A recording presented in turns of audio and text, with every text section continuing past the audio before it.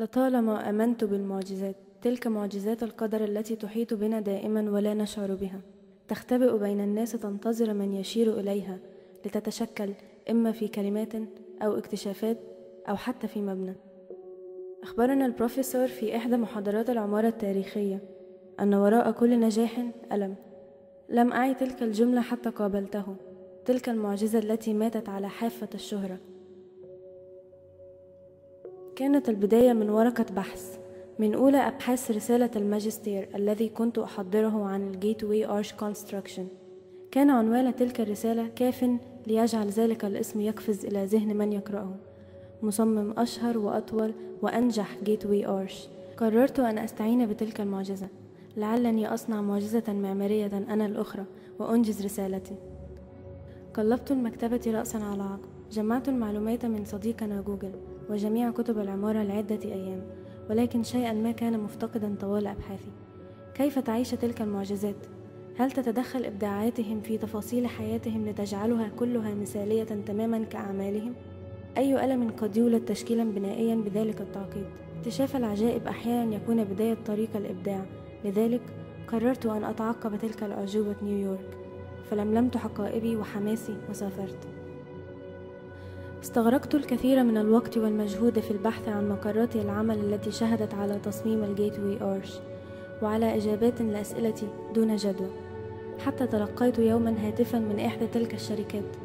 أخبروني بأنهم يريدون مساعدتي في تجميع المعلومات عن ذلك المنشأ وسأساعدهم أنا أيضا. لم أفهم كثيرا سبب هذا الاتصال المفاجئ. حتى دخلت ذلك المكتب الفخم. كان يجلس ذلك الوسيم ذو البذة الأنيقة والملامح الحادة. خلف المكتب تيقنت بأنه مدير الشركة وسيروي لي سر تلك المباني Good morning, miss. Good morning, sir. I'm so thankful for inviting me here. I really appreciate all the information about the Gateway Arch that is one of the most recognizable landmarks in the US. بدت عليه البلاهة وقال مقاطعا Miss, they are waiting for you inside. Please get in. علمت بأنه لم يكن سوى السكرتير حين قابلت ذلك الرجل الذي كان يجلس خلف المكتب الآخر. كان رجل مسن قد غزا شعره البياض يحمل الملامح الأمريكية كثيرا. تمعن في وجهي بابتسامة دافئة. Good morning sir, I hope you're doing well. صباح النور. منورة الشركة. اتفضلي. أنا سمعت إنك جاية من مصر عشان تعرفي قصة نجاح إيرو سلمة أنا مبسوط جدا إن أنا هعيد إحياء القصة اللي أنا بحبها مع إعلامية مميزة زيك. حضرتك العربي بتاعك مصري قوي كده إزاي؟ أو بتعرف عربي إزاي أصلا؟ أصل أنا عشت في مصر حبة حلوين مع مراتي التانية أصل هي من مصر ومتعلقة بمصر قوي. ما شاء الله. المهم حضرتك أنا مش اعلاميه أنا مهندسة معمارية وبحضر ماجستير في ال Gateway Arch Construction بس عايزة أعرف آه، قصة المعجزة صاحب المبنى ده إن محدش قدر يعمل نفس الدقة في الأبعاد زيه.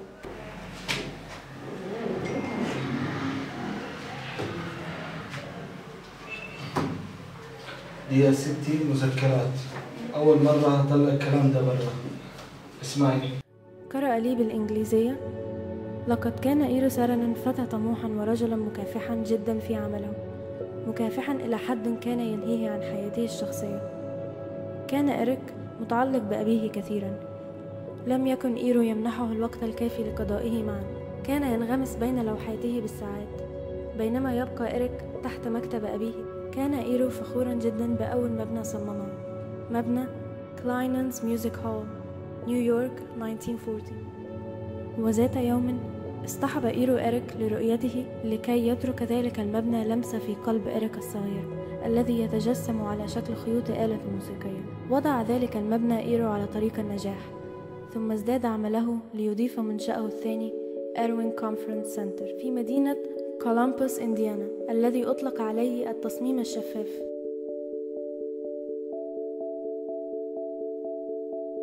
توالت الأيام وسرقت الأعمال والتصاميم إيرو من عائلته تماما وكان إليل سارنن والد إيرو قريبا من حفيده إريك وأخته سوزان ذات تسع سنوات. كان يرافقه دائما ويرعاه ويرسم الضحك على وجهه. كان إليل مهندس معماري مميزا جدا. ولكن شيئا لم يأخذه عن احترامه لذاته وحبه لأحفاده. أبرز أعماله كانت Cranbrook Educational Community Des Moines Art Center Church Lutheran ذات يوم استقبلت عائلة السارنن بريدا من Jefferson National Expansion Memorial تحمل نتائج المسابقة التي اشترك بها إليل وإيرو سارنن في تصميما لل Gateway Arch. كان الاسم المدون E dot سارنن وهكذا احتفلت العائلة بإليل لنجاحه في المسابقة. وبعد عدة أيام كانت أيام إيرو سارنن في استقرار بين العمل طوال الأسبوع وقضاء العطلة مع العائلة. تلقوا هاتفا من تلك الوكالة.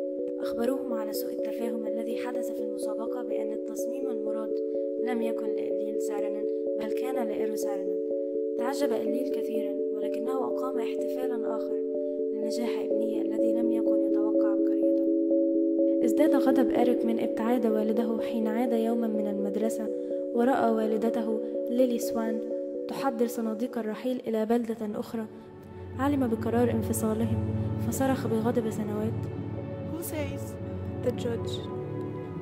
I will stand before any judge in the world and tell him this is wrong. Too late كان إيرو يخوض حياة جديدة عشقا جديد بدأ من interview ناقدة الفن إلى تبادل الرسائل وشهر عسل في نفس العام. كانت ألين برنشتاين هي من خطف قلبه. كانت تدعمه كثيرا في عمله. كانت مصدر إلهامه الذي ظهر في ال MIT Chapel الذي قام بتصميمه بعد زواجه الثاني. ساعده إلهامه بآلين في تصميم تلك الكنيسة بتفاصيل مثالية بلا نوافذ مطلقا ولكن circular skylight في منتصف القاعة بشكل جذاب. ومرت الأيام.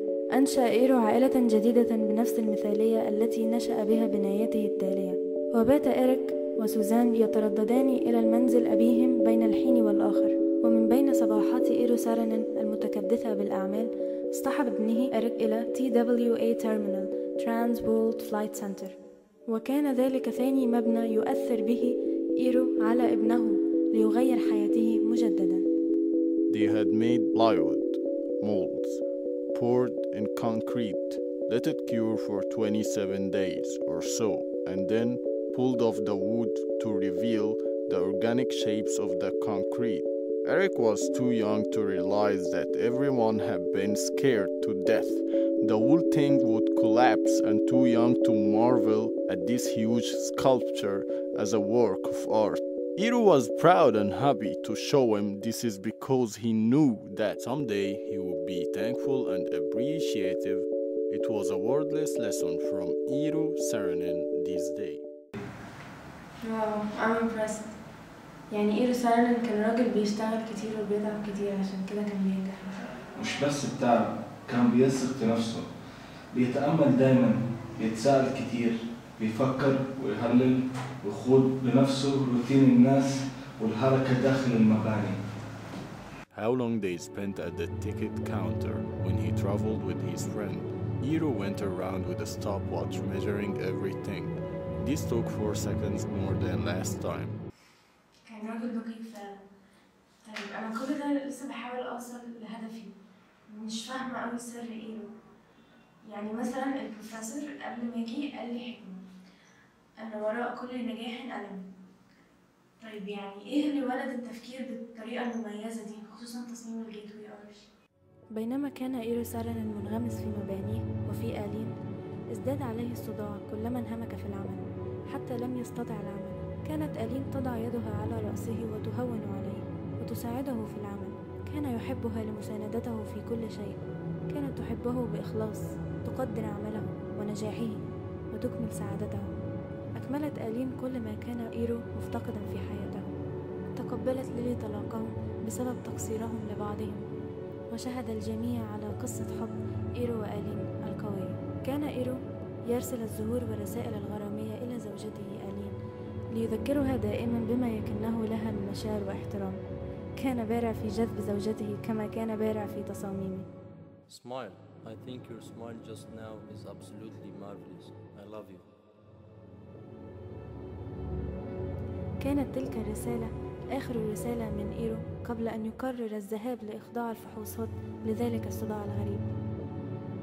لكل منا لحظات في حياته قد نطلق عليها مفترق طريق حيث يتغير كل شيء بعدها ولا يعود شيئا كما كان قبلها. قد لا تخبرنا الحياة مواعيد تلك اللحظات ولكنها تأتي لتغير كل شيء لتجري في كل السعادة جانبا وتصنع ألم يبني شيئا ما. Brain cancer. MRI Operation. إنها لحظات مجرد لحظات. لو علمنا قبل حدوثها عنها ما كنا أقدمنا على المضي في حياتنا. ربما كنا سنغير أقوال حديث ما أو قد نتخطى عمل ما كان ينتظرنا ليحصرنا في أركان تلك اللحظات. نحاول الإنكار من هول الصدمة. نتمنى لو نغمض أعيننا ونفتحهم لنجد أننا قد استيقظنا من الكابوس للتو. عاد إيرو إلى مكان كان يعرفه جيدا. لم يخبر أحدا عن مرضه وعن ما يشعر سوى طبيبه النفسي. عاد ليجد إريك وسوزان يكنون له نفس المشاعر والافتقاد وكان الغفران قد وجد طريقه لليلي. كان إيرو نادما على الوقت الذي أضاعه بعيدا عن عائلته. شعر بأنه مدينا لإريك فاحتضنه بصمت ورحل. رحل ليزور أولاده الآخرين مبانيها الذي كان يحبهم كثيرا والذي قرر بأن يرفع الراية البيضاء لإنجاب آخر وهكذا توقفت حياة إيرو سارنن العملية.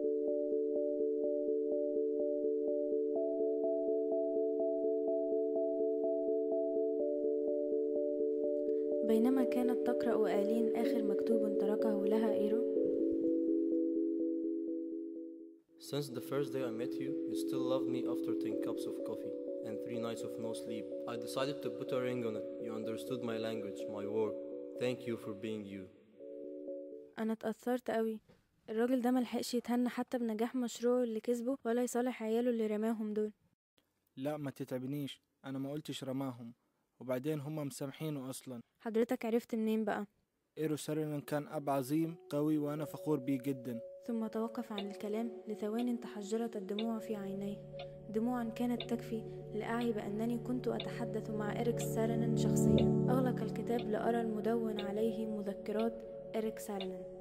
ثم أردف. ولو رجع بيا الزمن أرجع أحاول أقضي وقت أطول معاه وأقعد تحت الترابيزة اللي بيرسم عليها وأقول له إني بحبه. أنا جبتك هنا لما عرفت إني هقدر أعيد إحياء قصة والدي التاني. دي أقل حاجة دايما هفضل أحاول أعملها له عشان أرضي ضميري وعشان هو حقيقي يستاهل. أنا أعرف إن حضرتك اللي كتبت الكتاب ده إيرو سارنن the architect who saw the future. كانت فكرتي وأنا صورت الفيلم. لتعلم الناس كم كان أبي عظيما وكم كنت أحبه.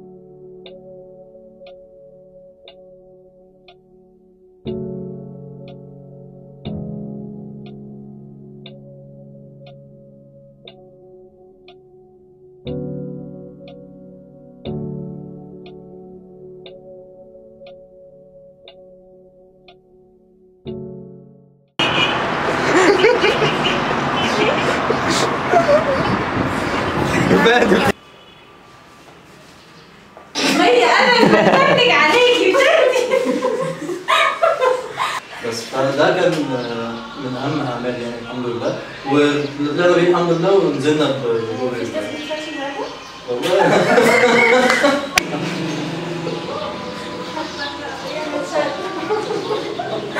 أهم الكبائر هي هي بيطلع كوبري